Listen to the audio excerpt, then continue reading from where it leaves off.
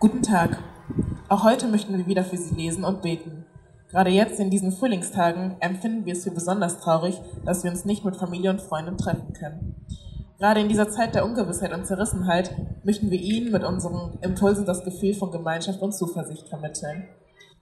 Mit unserem Bild vom Diakon Ralf Knoblauch möchten wir ganz besonders den zurzeit besonders in Anspruch genommenen Menschen unseren Respekt und unsere Hochachtung zusprechen.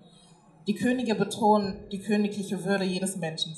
Schüler und Schülerinnen erleben diese Zeit als besondere Herausforderung. Wir sprechen hier mit einer Schülerin, die zurzeit leider nicht in die Schule gehen kann. Wie geht es dir in dieser Situation? Mir geht es relativ gut, außer dass ich meine Freunde nicht treffen kann und mit denen reden kann. Sonst ist alles relativ gut.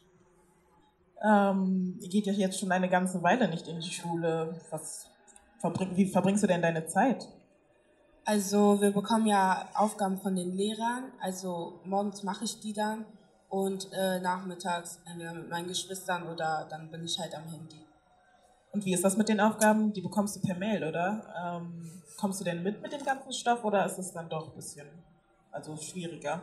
Also vor den Osterferien zum Beispiel, diese drei Wochen, ähm, die waren ein bisschen schwieriger, weil man sehr viel Druck hatte, weil man das noch nicht kannte. Aber ähm, jetzt mittlerweile habe ich mir halt einen Plan gemacht, wie ich das alles erledigen kann und äh, so geht das auch, aber es ist halt immer noch sehr viel Stoff. Vermisst du die Schule denn?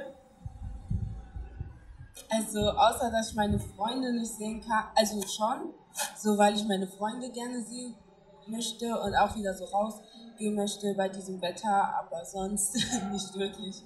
Vielen Dank, dass du deine Gedanken mit uns geteilt hast.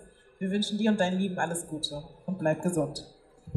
Allmächtiger Gott, diese Zeit stellt uns vor besondere Herausforderungen und Einschränkungen. Schenke uns deinen guten Geist, damit es uns gelingt, uns zum Wohle alle zu verhalten. Bleibe bei uns mit deiner Liebe, so dass wir Kraft und Hoffnung daraus schöpfen können. Das gewähre uns der dreifaltige Gott, der Vater, der Sohn und der Heilige Geist. Amen.